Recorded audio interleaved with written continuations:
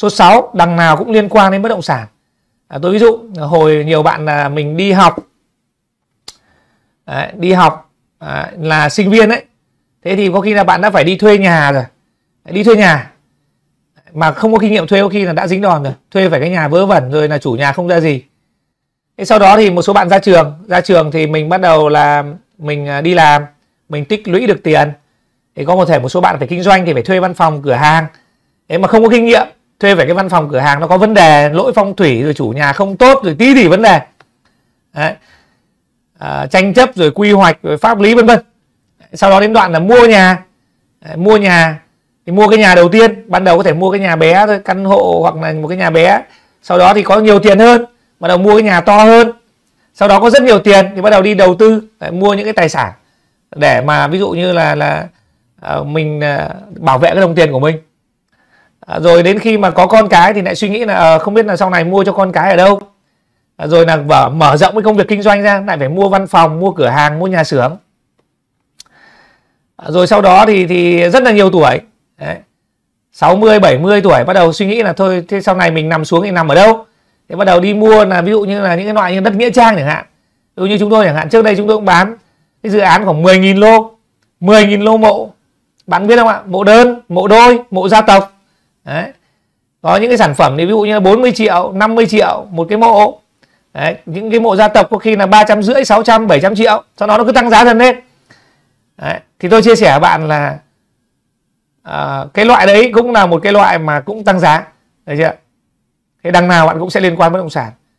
Đấy. và nhiều anh em thì thì, thì à, mình nên xác định là phải biết càng sớm càng tốt. Và bất động sản nó là một cái việc quan trọng như thế nhiều bạn ngồi nhẩm lại này. Thế thì cộng toàn bộ tài sản của bạn vào đi. Thì nhiều khi cái nhà của bạn có khi nó đã chiếm phần lớn rồi. Cộng có những người ngồi cộng hết tài sản lại, thì có khi cái nhà nó chiếm phần lớn tài sản luôn rồi. Bạn đồng ý với tôi không ạ? Rất là nhiều người như thế đấy. Cả đời có khi mua được đúng cái nhà. Đấy. thế nên là đằng nào cũng liên quan, mà trong khi cái bộ môn nó quan trọng như vậy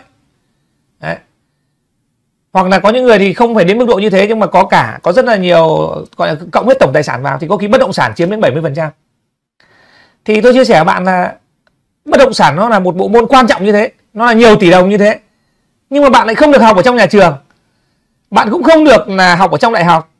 Bạn cũng không có ví dụ như là cái người hướng dẫn trong ví dụ trong gia đình cũng đâu có ai gọi là là là ờ, siêu về bất động sản ví dụ như vậy.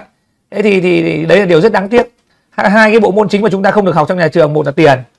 Đấy, và hai là đầu tư. Rồi. Kiến thức về tài chính. Mình gọi rộng nhưng không phải là tiền mà rộng ra là kiến thức về tài chính. Thứ hai là kiến thức về đầu tư là hai cái bộ môn đấy không được học trong nhà trường. Đấy. ok. Rồi thì tôi chia sẻ cho bạn những cái điều này. Đấy. có một cái lý do nữa ở đây. À có cái số 5 tự do tài chính. Cái chủ đề này rất là hay. Tự do tài chính là như nào? Tức là tôi chia sẻ bạn những cái câu chuyện của tôi. Ngày trước tôi gặp cái người đàn anh mà dạy cho tôi về bất động sản ở giai đoạn đầu. Hồi đấy anh nói là thu nhập thụ động của anh 100 triệu đồng một tháng. Đấy tài sản của anh 100 tỷ. Tôi bảo là ôi rồi em chỉ ước mơ được đúng 100 được 20 triệu một tháng thu nhập thụ động cũng chả mơ ước gì xa xôi cả. Hồi ấy đi làm lương được 6 triệu. Hồi ấy tôi làm nhà nước mà tôi làm ở một cái công trường xây dựng. 6 triệu một tháng. Quen tận đến uh, quen quen gọi là qua ông bạn giới thiệu qua cái người bạn giới thiệu thì thì quen tận anh giám đốc mới được xin vào làm lương được 6 triệu tháng. À. thế thì thì thì à, giám đốc là giám đốc gọi là tập đoàn luôn đấy. À, gửi hồ sơ lên sau đó bố trí về công trường lương được 6 triệu tháng. Hồi đấy tôi chỉ mơ thu nhập thụ động tháng được 20 triệu không mơ gì xa xôi cả. Đấy. Thế thì cái từ tự do tài chính ở đây là rất quan trọng. Nhiều anh chị em thì thì ví dụ như là à, bạn nên xác định ra à, bạn nên có một mục tiêu.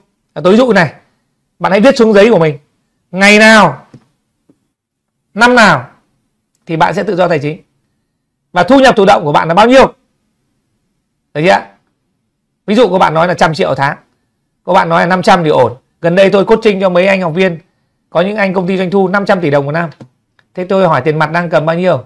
Anh bảo tiền mặt thì, thì hiện nay chỉ cầm 40 tỷ thôi. Thế và có cũng mua mới mua một số lô đất rồi. Có lô thì 60 tỷ có lô 70 tỷ. Thế bảo thêm mục tiêu thu nhập thụ động của anh như nào? Mục tiêu thu nhập thụ động thì hiện nay tôi không có. Hiện nay tôi mới đang có khoảng độ tầm 50 triệu thu nhập thụ động một tháng. Ở thế thì thì anh ờ, có định ờ, bao nhiêu thì anh cảm thấy hài lòng? Thì anh bảo là chắc là cỡ khoảng 500 triệu. 500 triệu đồng thì mình cảm thấy là ok. Ok thế thì bây giờ anh em mình sẽ ngồi bàn cái kế hoạch để lập cho anh cái uh, chiến lược tạo thu nhập thụ động 500 triệu một tháng. Nhưng mà năm nay thì có thể là anh sẽ tiến lên đang từ năm bốn năm chục triệu thu nhập thụ động. Anh ấy cũng có hai ba cái nhà cho thuê mà thì tiến lên 200 triệu trước. Một tháng đã. Đấy, thì năm nay mình có thể đặt mục tiêu đến 200 thôi.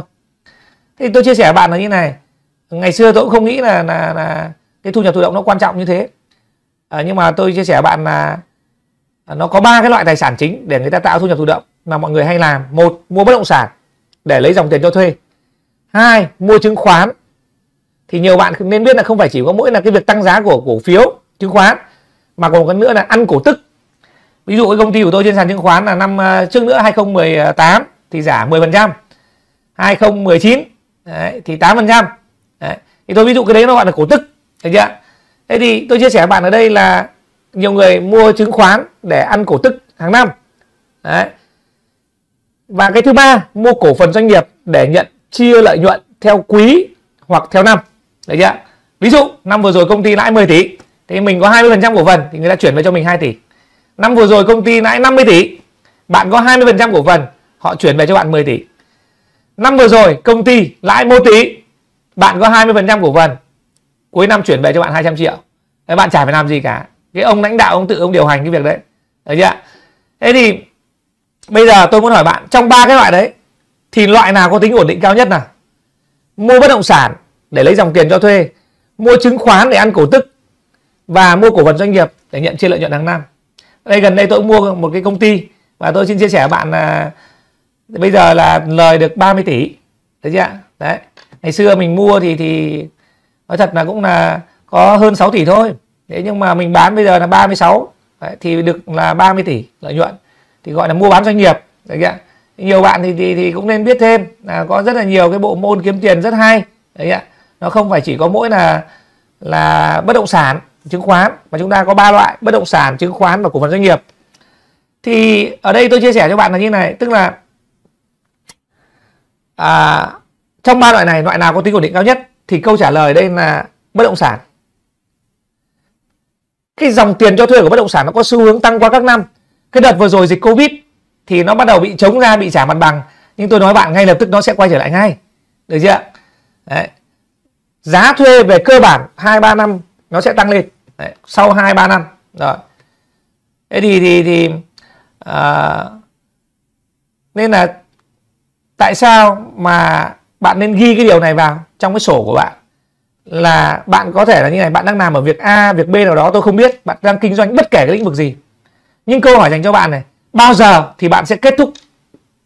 Bao giờ thì bạn sẽ nghỉ cái việc bạn đang làm? Đây tôi ví dụ như tôi chẳng hạn tôi mua được một số tài sản có cái tài sản à, mua 10 tỷ rưỡi cho thuê 80 triệu à, có cái tài sản là nghỉ dưỡng đấy thì khai thác là 30 50 triệu một tháng. À, có cái tài sản là 50 phòng cho thuê. Ngày xưa mua đất là 230 mét. Đấy chưa xong mình xây lên. Xong mình cho thuê. Đây tôi ví dụ như này. À, tất nhiên là mình đã từng trải qua là những cái tài sản dòng tiền nó thấp. Ví dụ mua cái tài sản khoảng hơn 12 tỷ cái shop house thì cho thuê được có 15 triệu một tháng. Cái ông thuê của tôi ấy, là ông ấy làm giấy dán tường. Tức là ông ấy là một cái công ty ở Trung Quốc nó làm chuyên làm về giấy dán tường nó cần một cái cái cái shop house cái cửa hàng để bán. Đấy. Chứ nó có xưởng sản xuất riêng. Thế thì 15 triệu một tháng là dòng tiền rất thấp. 15 triệu một tháng thì một năm được 180 triệu. Đấy. và chia cho ờ, uh, 12 tỷ đầu tư thì được có 1.5% rất thấp. Còn không bằng tiền gửi ngân hàng. Thế nhưng mà được cái thì tài sản nó tăng giá hơn một chút. Thì ở đây ý tôi nói ở đây tôi chia sẻ cho bạn là gì? Là thứ nhất câu hỏi này bạn đã thiết lập cho mình cái mục tiêu chưa? Vì nếu không ấy bạn sẽ giống như bố mẹ tôi là không có cái mục tiêu về thu nhập thụ động tự do tài chính. Đấy. nên là ngày xưa ấy, bố mẹ tôi là không để ý không đi mua những cái mảnh đất để mà có thể xây phòng cho thuê để mà có thể là kết thúc game được. Đấy. thứ nhất bạn có mục tiêu chưa? Nếu chưa có viết nó xuống. Mà sau này 5 năm sau 10 năm sau bạn nhìn lại thì bạn ô thầy giáo nhờ định hướng cho mình mà bây giờ mình đạt được thành quả. Cái định hướng nó là rất quan trọng. Còn bố mẹ tôi 60 tuổi về hưu không có một cái tài sản cho thuê nào hết đấy. Theo bạn định hướng có quan trọng không? Rồi. Rồi. Thế thì thì à, tôi chia sẻ cho bạn là cái câu chuyện là như này. Là nhiều anh chị em là mình không không có để ý gì cả. Đấy. Mình không biết. Thế thì tài sản à, mình mình à, gọi là giống như là bố mẹ tôi chẳng hạn thì bố mẹ tôi không có mua. Bất động sản nhưng mà bà cô tôi thì có mua. Đấy, có mua có mua và mua những cái tài sản mặt đường sau đó cho ngân hàng thuê. Rồi. Thế thì anh em ghi xuống này. Cái thứ hai anh em ghi xuống nữa là bất động sản là một chiến lược kết thúc. Đấy. hôm nay mình làm việc A, việc B, nhưng bao giờ thì mình sẽ nghỉ. Đấy chưa ok, anh em comment vào ô chat. Bất động sản là một chiến lược kết thúc. Rồi. Và chúng ta thì đều phải có những cái mục tiêu trong cuộc đời. Tôi ví dụ như này, với nhiều bạn chẳng hạn, cái việc đưa công ty lên sàn chứng khoán thì nó là mục tiêu, nhưng mà tôi chia sẻ với bạn, với tôi chẳng hạn, nó chỉ là một công cụ thôi chứ nó không có gì ghê gớm ở đây cả. Công cụ tại sao? Tại vì mình làm cái dự án 89 hecta thì mình cần một cái công cụ huy động vốn. Khi nào mình muốn sử dụng thì mình dùng nó, mình đưa toàn bộ cái dự án 89 hecta của mình vào. Nên mà bạn hay bị nhầm lẫn giữa một đằng là phương tiện và một đằng là mục tiêu. Đấy ạ? Thế thì cái bài học ở đây là, ví dụ ờ, kiếm tiền trong bất động sản thì nó đôi khi nó chỉ là bất ờ, gọi là phương tiện thôi. Chưa chắc nó là mục tiêu của bạn. Mục tiêu của bạn là tự do tài chính ok, bạn và bao nhiêu bạn đồng ý điều này hãy comment vào ô chat. Rồi. Phương tiện và mục tiêu. Rồi. Bạn hãy comment vào ô chat đi ạ.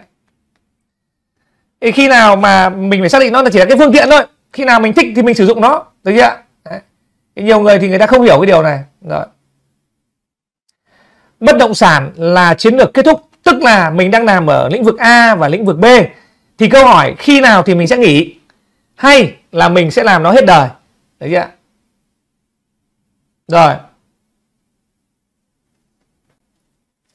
Rồi giống như tôi vừa chia sẻ bạn cái câu chuyện là gọi là đưa công ty lên sàn chứng khoán thì nhiều người rất là thích cái việc đó. Nhưng mà đối với tôi chẳng hạn thì cái việc đó không quan trọng. Cái việc đấy nó chỉ là phương tiện thôi. Rồi. Khi mình làm dự án thì mình có thể huy động vốn, nhà đầu tư nước ngoài, người ta tham gia, người ta có thể góp vốn với mình. Đơn giản vậy thôi. Vì thế mình phải cần phải chuẩn bị. Đấy. chứ không có gì ghê gớm ở đấy cả. Đấy chưa rồi.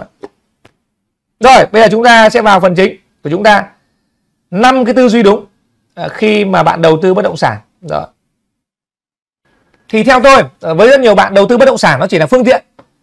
Còn cái mục tiêu mà bạn mong muốn trong cuộc đời, có thể nó là tự do tài chính. Đấy. ok, bao nhiêu bạn đồng ý điều này? Rồi, hãy comment vào ô chat nhé rồi. Mục tiêu của bạn là tự do tài chính. Đấy chưa xây dựng được cái thu nhập thụ động lớn. Còn cái phương tiện mà bạn sử dụng, nó là đầu tư bất động sản.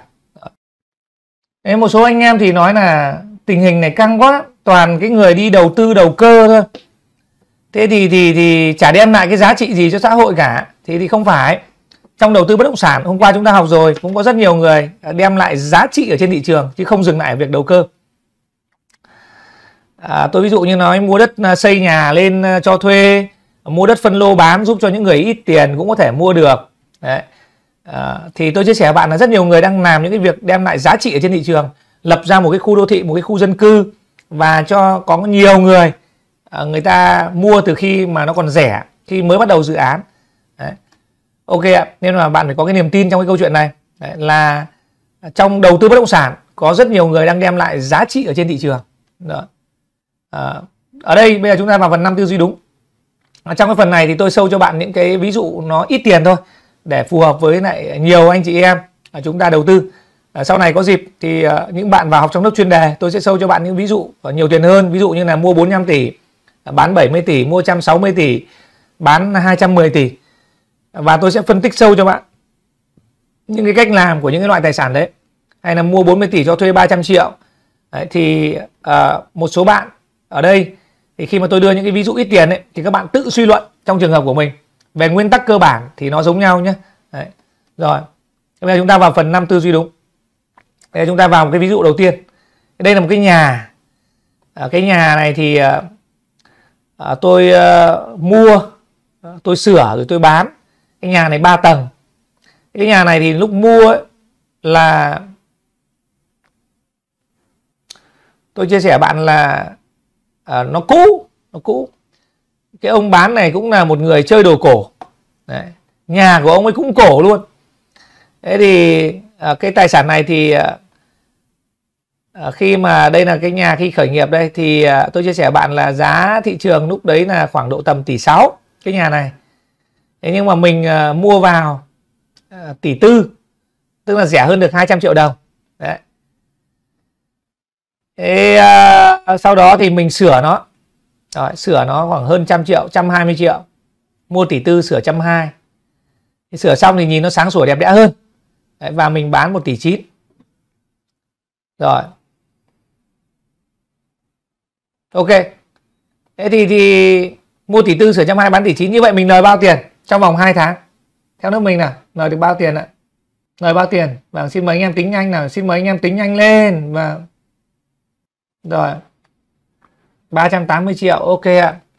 Rồi Để trong vòng 2 tháng rồi chúng ta qua ví dụ đầu tiên nhé mua cái nhà sửa xong bán. Đấy, ví dụ thứ hai à, mua một cái mảnh đất vendo. Rồi cái mảnh đất này thì 1.000 mét vuông 1.080 mét vuông. Rồi à, mặt tiền của nó là 30 mét. Rồi mặt tiền 30 mét là rộng hay hẹp. Rồi rộng hay hẹp? Rồi, ok ạ. Rộng, đúng rồi. Thì tôi chia sẻ lớp mình là mặt tiền 30 mét thì chiều sâu bao nhiêu? Rồi. Chiều sâu bao nhiêu? Anh em tính nhanh ấy là xem có tính nhanh được không? Rồi.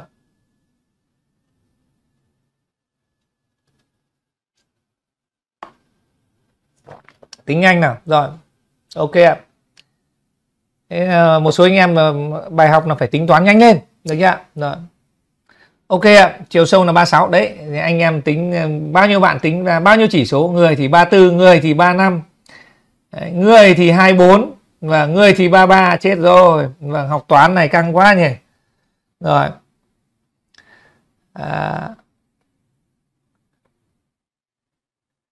nên là một số anh chị em mà có con cái nhá dạy toán cho con kỹ vào. Và theo bạn các ông chủ đầu tư tính tiền có nhanh không? Ô, mua bao nhiêu mét vuông đất xây bao nhiêu tầng xây 10 tầng lên hay là xây 25 tầng? Đấy, đầu vào đầu ra khoảng bao nhiêu? Theo bạn tính nhanh không? Tính còn nhanh thì còn chiều đi đặt cọc chứ. Ừ, tôi chia sẻ bạn là nhiều anh em tính chậm thì chết và rồi ok anh em comment vào ô chat đi ạ tính toán nhanh lên. Rồi. Mặt tiền 30 mét rồi chiều sâu 36 rồi thế thì thì quay trở lại nhá. À, mặt tiền à, 30 mét là mặt tiền rộng. Rộng để làm gì? Vâng. Rộng để làm gì ạ? Rồi rộng để làm gì? Thế thì không phải để mỗi chia lô. Mà không phải để mỗi chia lô. À, chia lô là đúng rồi. À, thế nhưng mà mặt tiền rộng bạn nên hiểu như này. Tất cả các loại tài sản ấy thì mặt tiền rộng là một tiêu chí. À, ví dụ cùng ở trong trung tâm này này trung tâm có thể là Hà Nội, Sài Gòn, Đà Nẵng tôi không biết bạn ở đâu nhưng mà có thể hiểu là trung tâm của thành phố của bạn, của tỉnh của bạn. Thế thì cái tài sản diện tích 100 mét vuông chẳng hạn. Thì có tài sản mặt tiền nó được 8 mét. Nhưng cũng có tài sản mặt tiền chỉ có 3 mét. Cùng diện tích 100 mét vuông. Thì cái tài sản mà mặt tiền có 3 mét ấy thì 3 mét là mặt tiền bé quá, gọi là bề ngang bé quá. Được chưa? Và cái mặt tiền 8 mét hoặc 7 mét thì lợi ích là gì? thứ nhất là cái mặt tiền nó nhìn nó rất lớn, cái bề ngang nhìn rất lớn. Thì cái việc kinh doanh ấy, tức là đi ở ngoài đường người ta nhìn cái biển quảng cáo nó rất là thu hút. Đấy. cái thứ hai là cái giá bán, nó cũng sau này nó được giá hơn, giá cho thuê cũng được giá hơn. Được chưa thế thì mặt tiền là một tiêu chí, ngoài cái việc để chia lô ra. Đấy. để phân lô ra. Ví dụ, tôi có miếng đất gần 4 hecta mà mặt tiền nó chỉ có 50 mét. Thì mặt tiền 50 mét là bé nhưng một miếng khác 1,5 hecta mà mặt tiền lại được 200 mét thì 200 mét là được là rộng. Rồi các bạn hãy ghi vào sổ thông thái hoặc là comment vào ô chat. Mặt tiền rộng là một tiêu chí. Rồi. Mặt tiền rộng. Rồi. Ở đây cái từ mặt tiền ấy thì nó lại có hai cái cách hiểu ở trong miền ở miền Bắc ấy. Thì mặt tiền thì được hiểu là cái bề ngang ấy. Nhưng mà miền Nam ấy mặt tiền thì thường hay bị hiểu là cái đường. Bạn hình dung vào này không ạ? Một số anh em ở trong miền Nam thì khi nói mặt tiền thì thường đang hiểu là cái đường đường bao nhiêu mét. Đấy. thì trong miền Nam thì thì, thì... rồi à, anh em hiểu cái từ mặt tiền là mình là bề ngang nhá. Ví dụ như là diện tích 100 mét vuông mặt tiền 5 mét thì ý tôi nói là bề ngang 5 mét rồi. Rồi ok. Cái gần đây tôi cũng bán một cái tài sản mặt à, tức là diện tích hơn 100 mét vuông 115 mét vuông. Mặt tiền nó 9 mét cơ. Mặt tiền rất là rộng nhưng mà tôi sẽ chia sẻ cho bạn bạn một cái bí quyết rất quan trọng ở cái phần này. Mà có những người phải mất hàng tỷ đồng gọi là và mất rất nhiều thời gian mới hiểu ra cái bài học này. Ở đây bao nhiêu bạn muốn học cái kinh nghiệm này? Rồi. Hãy comment vào ô chat bao nhiêu bạn muốn học cái kinh nghiệm này. Rồi. Cái kinh nghiệm là liên quan đến cái kích thước của tài sản. Rồi. Ok thì uh, xin chia sẻ với bạn là như này. Là trong nhiều trường hợp tôi ví dụ này nhé vẫn cái diện tích 1080 m này. Nếu mặt tiền là 10 m thì chiều sâu là bao nhiêu? 100 đồng ý không ạ? 108 m thế thì 100 là quá sâu. Cái tỷ lệ giữa kích thước mặt tiền và chiều sâu. Thông thường ví dụ với những cái tài sản loại nhỏ thì khoảng 1 phần 3 Đấy, là vừa. Ví dụ mặt tiền 10 mét chiều sâu 30 bạn hình dung vào này không ạ? Ví dụ nhưng nếu như mặt tiền 10 mét mà chiều sâu 100 thì người ta gọi là sâu. Đấy, quá sâu. Đấy, mặt tiền 10 mét mà chiều sâu 100 là tỷ lệ bao nhiêu rồi nước mình ạ? 1 phần 10 Đấy. Đấy chưa Thế thì ờ, cái kích thước của thửa đất Đấy, đấy là một cái bài học quan trọng. Tuy nhiên bài học thứ hai mà mới là cái bài học mất tiền tỷ có những người ấy, gọi là phải dính vào rồi mới hiểu. Đấy. là trong nhiều trường hợp vẫn nên mua cái tài sản kích thước nó sâu như thế. Mặt tiền 10 mét chiều sâu 100 mét. Đấy. đầu tiên chúng ta có một cái chỉ số chung nhé. Mặt tiền chiều sâu nó rơi vào khoảng 1 phần 3 lớn hơn 1 phần 3 là tốt. Và nhiều miếng mặt tiền nó rộng thì để nó xẻ lô. Ồ, oh, rất hiệu quả đồng ý. Tuy nhiên trong nhiều trường hợp nên mua sâu. Đấy. tại sao? Thì tôi chia sẻ với bạn là như này. À, gần đây tôi bán một cái tài sản 115 mét vuông. Mặt tiền nó khoảng 9 mét. Đấy chưa? bề ngang 9 mét đấy. Thế thì chiều sâu của nó sẽ chỉ rơi vào khoảng độ 12 13 mét trở lên thôi. Bạn hình dung vào này không ạ? Và cái tài sản này là mặt đường. Khi mà đường nó mở ấy, mà nó mở ra, rộng ra, quy hoạch mở rộng ra rất to ấy, thì tôi chia sẻ bạn là cái nguy cơ mà có thể bay một nửa tài sản hoặc là mất hết tài sản rất là cao. Tất nhiên khi mở đường ra thì giá nó sẽ tăng lên, phần còn lại tăng lên, được chưa nhưng tôi đang nói là nguy cơ bay hết tài sản rất cao thì cái bài học mà tôi muốn chia sẻ cho bạn ở đây là trong nhiều trường hợp mua sâu cho nó chắc bạn hình dung vào này không ạ có nhiều người đã bay hết tài sản rồi, người ta mới học được cái bài học này rồi rồi xin mời anh em comment vào ô chat nào mua sâu cho nó chắc rồi rồi, anh em comment vào ô chat nhé Đấy ạ. Nhiều ông đã bị dính quy hoạch và bay hết tài sản rồi. Đấy. Sau đó mới hiểu ra vấn đề. Thì trong cái việc đi đầu tư bất động sản à, nó có những cái bí quyết mà tôi chia sẻ với bạn. Những cái bí quyết đấy trị giá rất nhiều tỷ đồng. Và tôi vừa chia sẻ cho bạn đấy là chỉ là một bí quyết thôi. Đấy. Trong nhiều những cái bí quyết mà nó sẽ quyết định cái thành bại của bạn. Tại sao có những người mua mà x5, x6 và x10 mà có những người chỉ ăn được có 10% thôi. 20%. Thế thôi. Và rồi anh em comment vào ô chat mua sâu cho nó chắc rồi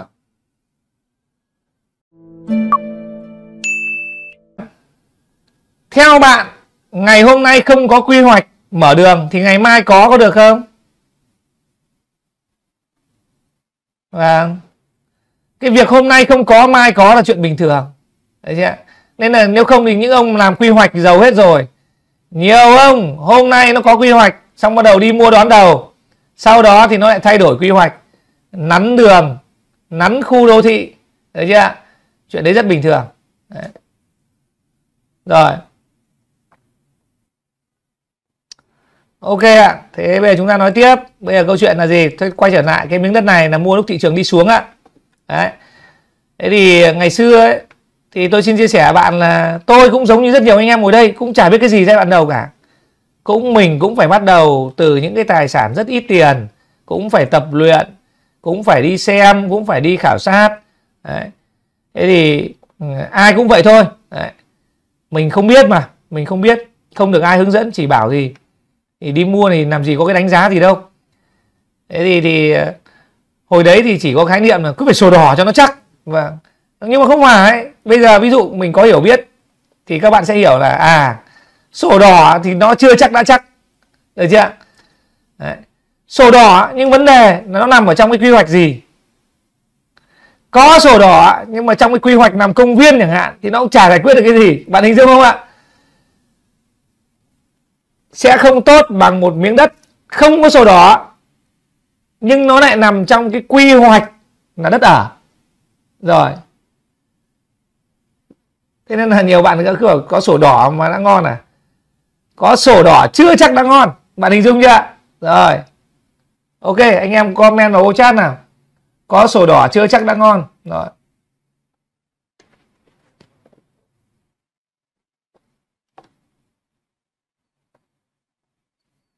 Nó nằm trong cái quy hoạch. Ví dụ làm công viên chẳng hạn thì bạn coi như là được đền bù. Thì người ta sẽ giải phóng mặt bằng bạn được đền bù theo khung giá nhà nước. Tôi ví dụ thế để bạn dễ hình dung. Rồi. Đấy, cho một số bạn là ờ, đi mua cứ thấy tay cầm sổ đỏ là yên tâm. Và rồi. Thế, rồi câu chuyện tiếp theo. Mà trong nhiều trường hợp thì chưa có sổ đỏ nó lại ngon hơn. Đấy. tại sao vì nhiều khi không có sổ đỏ. Nhưng mà ở đây lưu ý là phải làm được có thể làm được sổ nhé Đấy. thế thì à, tại sao nhiều người lại đi mua cái loại chưa có sổ? Đấy. thì lý do đơn giản thôi. Mua một đồng ăn 10 đồng một đồng ăn 3 đồng ăn 5 đồng. Đấy. rồi. Nhưng mà lưu ý là phải mạnh về pháp lý. Rồi vụ thì vụ đấy chúng ta sẽ bàn à, sau. Đó à, những à, về cơ bản chúng ta có một nguyên tắc chung, ưu tiên tính kiểm soát. Đấy. có sổ đỏ là tính pháp lý tương đối tốt. Đấy. và có cái tính kiểm soát cao. Đấy. còn về cơ bản thì thì có sổ đỏ là chắc chắn là phải ưu tiên rồi. Đấy chưa nhưng tôi đang nói là kể cả có sổ đỏ chưa chắc đã ngon. Rồi, quay trở lại. Cái mảnh đất này tôi mua lúc thị trường đi xuống. Giá thị trường của miếng đất Vendo này là một triệu đồng một mét. Đấy chứ cả cái miếng đất này thì 1080 mét là bao nhiêu tiền? Là 1 tỷ 080 triệu. Rồi. Bây giờ mua khoảng bao nhiêu thì tốt nào? Theo anh em ạ. 900, 800, 700. Rồi. Bao nhiêu tiền thì tốt? Rồi. Mua 1 tỷ thì tốt đúng không ạ? À, xin chia sẻ lớp mình là như này. Cái miếng này ấy, thực ra là mua vào báo cáo lớp mình là mua vào có 300 triệu thôi. Thế một số bạn ui rồi làm gì có vụ đấy không phải bạn tôi chia sẻ bạn là tất cả các tình huống giao dịch nó đều có những cái đặc thù của nó. Trường hợp này như sau. Thứ nhất là chủ nhà rất cần bán, vô cùng cần bán. Thứ hai là đây là thời điểm thị trường đi xuống chả ai mua cả. Thứ ba là tôi rất thân thiết với cái anh môi giới và anh ấy giúp tôi điêu được một cái giá rất tốt. Được chưa thứ tư là chủ nhà có rất là nhiều đất, cắt ra 1.000 mét nó chả giải quyết cái vấn đề gì đấy ạ. Thế thì tôi mua 300 triệu. 6 tháng sau, tôi bán 500 lời được 200 triệu thôi, trong vòng 6 tháng. Đấy ạ. Thế thì thị trường đi xuống. Nhiều người vẫn kiếm được tiền. Bằng cách nào? Mua rẻ. Và bán cũng gì ạ? Bán rẻ. Đấy. và tôi chia sẻ bạn, những cái thời điểm thị trường khủng hoảng thì nó xuất hiện rất nhiều cơ hội. Ví dụ, dịch covid. Đây, chính tôi đây, đi giao dịch một cái tài sản đây.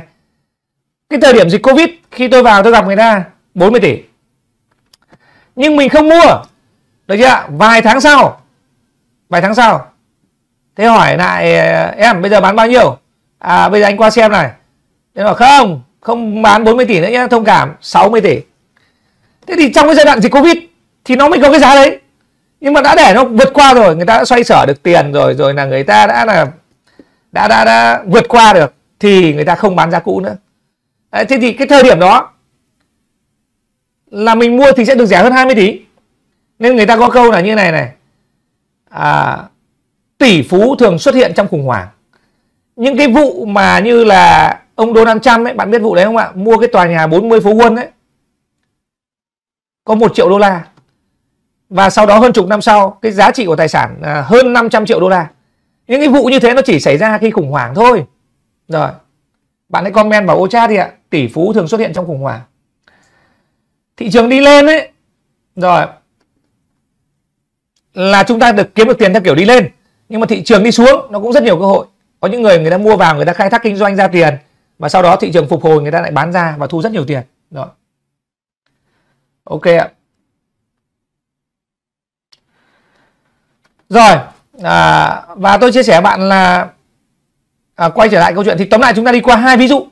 À, ví dụ thứ nhất là một cái nhà đấy chưa đây. Thì mua giá thị trường 1 tỷ 6 mình mua 1 tỷ 4 à, ví dụ thứ hai cái nhà này là mua lúc thị trường đi lên này. Đấy. Cái ví dụ thứ hai là một cái mảnh đất. Đấy. giá thị trường khoảng hơn 1 tỷ mình mua 300 đấy. thì chúng ta có một cái câu hỏi là chúng ta gọi là kiếm tiền. Đấy. khi chúng ta mua hay là khi chúng ta bán? Rồi, xin mời lớp mình ghi xuống nha tư duy thứ nhất. Rồi.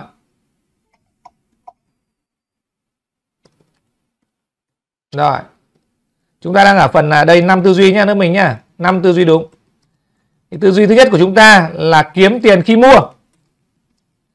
Đấy. ở đây bạn hiểu với nhau là như thế này, chúng ta hiểu với nhau như thế này. Tất nhiên là bạn có thể kiếm được tiền khi bán càng tốt. Kiếm được tiền khi bán được hiểu như nào? Sau khi bạn mua xong. Được chưa? Thì tự nhiên cái khu vực đấy nó tăng giá rất mạnh. Nó sốt đất. Thế là bạn kiếm được tiền khi bạn bán. À, sau khi bạn mua xong đáng nhẽ là tài sản nhà bạn 10 đồng thôi. Bạn cứ phát lên là 15 đồng. Mà không hiểu thế nào có ông vẫn vào ông giảm 13 đồng xong ông mua. Theo bạn cái tình huống đấy gặp nhiều không? Nhà mình có 10 đồng thôi nhưng mà mình cứ phát giá lên 12 13 đồng. Xong rồi không hiểu thế nào lại vớ được khách vào nó mua luôn. Thế thì đấy là bạn kiếm được tiền thêm khi bạn bán nhưng mà tư duy của chúng ta ở đây là chúng ta kiếm tiền khi mua. Có nghĩa là ưu tiên, mình mua rẻ hơn so với giá thị trường. Rồi. Ok nó mình ghi. Ưu tiên. Mua rẻ hơn so với lại giá thị trường. Thế nhiều bạn mới bảo là chứ ôi, không, của em bây giờ khu em đang sốt lắm. Mua không mua không mua rẻ hơn được. Thì tôi bảo là như này, bạn phải hiểu đúng. Tức là như này, cái khu vực của bạn đang sốt, nhưng cái mặt bằng chung nó là 10 đồng thì bạn vẫn tìm được căn 8 đồng 9 đồng. Thì như vậy, cũng là kiếm tiền khi mua rồi. Đồng ý không ạ? Cái mặt bằng chung nó là như thế, nhưng bạn vẫn tìm được cái căn mà bạn thấy là à cái này rẻ hơn một chút 8 đồng 9 đồng. Chứ còn ai chả biết là cái khu của bạn thì nó đang sốt và không nhanh là mất ngay. Đồng ý không ạ? Tùy từng thương vụ, tùy từng thị trường. Có những thị trường tôi ví dụ như này. Thấy ba ông vào xem một lô đất. Năm ông vào xem một lô đất cùng một lúc. Nào, theo bạn là có được giảm giá không? Theo bạn chủ nhà có giảm giá cho bạn không? Thì rõ ràng những cái quả như thế thì ai nhanh người ấy được chứ? Đồng ý không ạ? Đấy. chậm một giây thôi. Được chưa Đấy, là mất nhau cả đời. Thế thôi. Tức là mình không nhanh mình không quyết đoán. Rồi. Nhưng mà đây tư duy của chúng ta kiếm tiền khi mua là chúng ta hiểu là như vậy. Tức là trong cái mặt bằng chung của thị trường đang sốt đáng nhẽ cái tài sản cỡ như vậy phải 10 đồng mà bây giờ mình tìm được cái căn 8 đồng 9 đồng tốt thấy chưa? Rồi ưu tiên. Rồi. Đây hiện nay của chúng ta thì nhiều thị trường đang rất là tăng giá khủng khiếp đấy bạn ơi. Tăng gấp 2, gấp 3, gấp 5 rồi. Hoặc bét ra thì nhiều bạn cũng ăn hai ba chục năm chục phần trăm. Nên đợt này ấy, rất là nhiều bạn đang đi học bất động sản để chớp nhoáng cơ hội đây thấy chưa? Thế thì thì thì tôi chia sẻ cho bạn là hiện nay thị trường đang rất tốt ở rất nhiều nơi. Đấy, một số bạn cứ hỏi năm nay như nào thị trường cực kỳ tốt và sẽ tốt có thể là hết năm nay, năm sau. Còn sau đó nữa thì không biết. Đấy. bởi vì mọi thứ thay đổi rất nhanh. Bây giờ ví dụ này, thay đổi rất nhanh như nào? Nhà nước mình tự nhiên ra quyết định là tăng lãi suất lên 10% 15% ví dụ đang cho vay là 10 11 bây giờ lên 15% cái hoặc 13 bạn có tin là cục diện nó lại khác ngay không? Bạn đồng ý với tôi không ạ? Bạn hãy comment vào ô chat. Mọi thứ thay đổi rất nhanh. Rồi, đồng ý. Còn hiện nay đấy, với cái việc bơm tiền của các chính phủ với cái việc thúc đẩy đầu tư công đấy chưa với cái việc là các khu công nghiệp được triển khai đấy, đầu tư FDI vân vân đấy thì tất nhiên thời điểm này đang là thiên thời rất tuyệt vời đấy.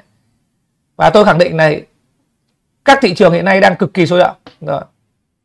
Còn bạn ngồi nhà bạn không biết vì do bạn không biết thôi rồi. Và tất nhiên cũng có những thị trường là hiện nay là bán không ai mua nó tùy từng loại hình chứ không phải tất cả đều tốt nha nữa mình nhá. Rồi đây là lưu ý cho anh em. Rồi chúng ta đi tiếp. Ưu tiên mua rẻ hơn thị trường. Cái thứ hai. Rồi. Ê, uh, à, sai lầm nhá. Cái sai thường gặp này là sẽ như nào? Là nhiều người thường mua bằng với giá thị trường. Và sau đó họ hy vọng tương lai sẽ tăng giá.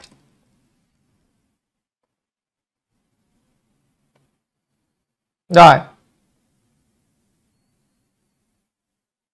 Nào theo bạn bạn thấy cái này có nhiều không? Hy vọng. Rồi.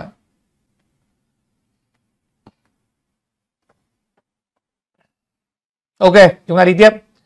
Chúng ta có một công thức nhanh cho nhiều bạn mới ở phần này.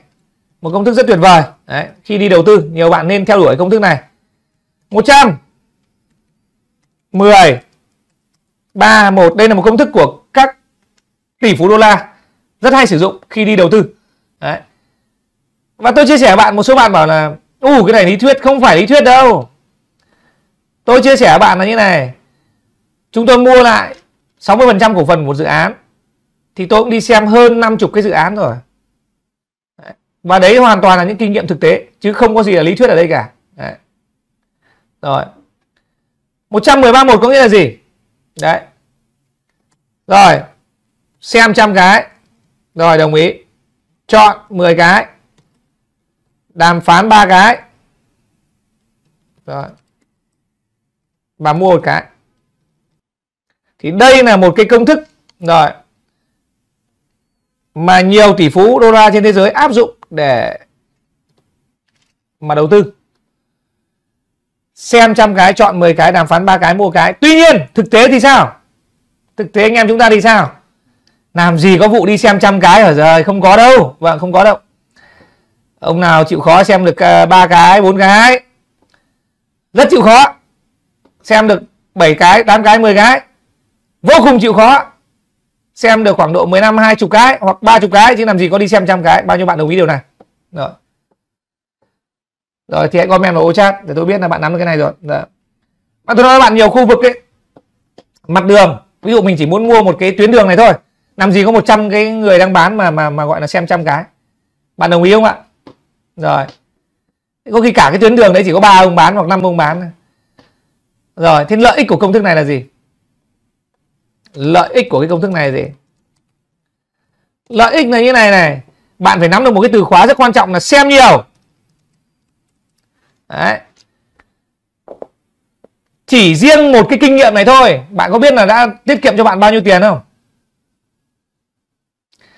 Ví dụ, sai lầm thường gặp này. Hôm nay bạn được một chú cò giới thiệu cho bạn một lô đất. Bạn xuống xem qua, múc luôn. Thì cái đấy người ta gọi là xem một. Mua một. Rồi bạn hãy comment vào ô chat đi ạ. Xem một, mua một và vấn đề là sau khi lại khổ cái này chú cò này không tốt. Rồi. Và bạn à, sau khi mua xong thì mới biết là xung quanh còn nhiều căn giá rẻ hơn nhiều.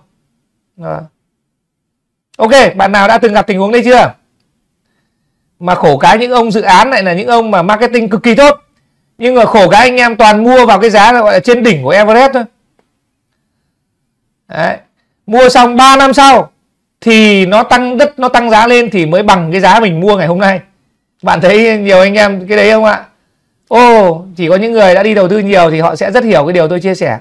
Vâng. Rồi. Xem nhiều. Xem nhiều để làm gì? Theo nước mình nào? Xem nhiều để làm gì ạ? Xem nhiều để làm gì?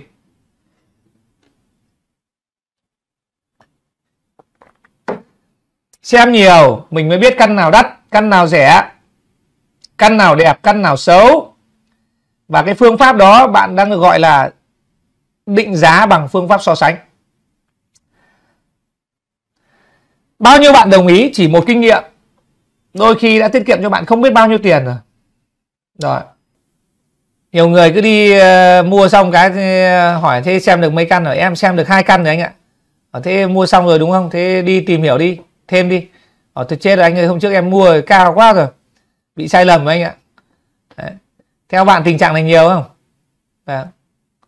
À, sau này một số anh em thì sẽ học cái phương pháp xử lý con số 100 này. À, tôi sẽ hướng dẫn cho bạn một số cái phương pháp xử lý con số 100 à, nó sẽ tiết kiệm cho bạn rất nhiều thời gian. Đấy.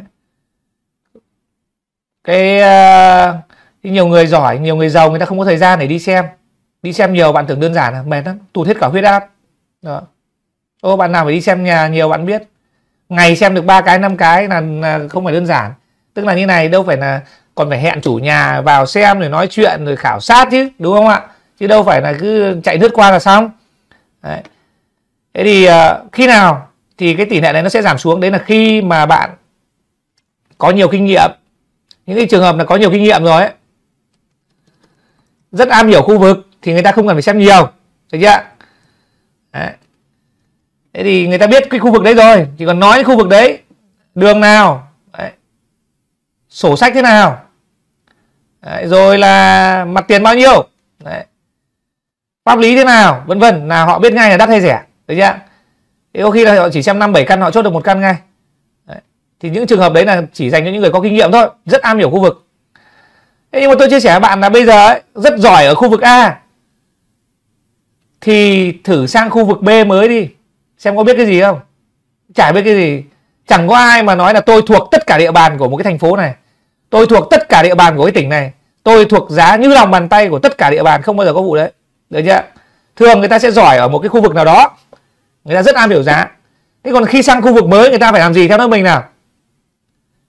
Lại phải xem nhiều kể cả là bạn giỏi đến mấy. Được chưa? Rồi. Có nhiều kinh nghiệm thì cái tỷ lệ nó sẽ giảm. Đấy. còn giai đoạn đầu, Đấy. đặc biệt là những người mới, phải đặc biệt lưu ý cái từ khóa này, xem nhiều Đấy. rồi rồi, xin mời anh em comment vào ô chat 11031 rồi Thế à, sau này một số bạn mà vào học lớp đầu tư của Nick nhá, Tôi hướng dẫn cho bạn cái phương pháp xử lý con số 100 này Đấy. Rất hay Tìm rất nhanh thì nó gọi trong cái phần kỹ năng của đầu tư bất động sản, Chúng ta có cái kỹ năng tìm. Đấy. Những cái kỹ năng bạn cần cải thiện là tìm bất động sản.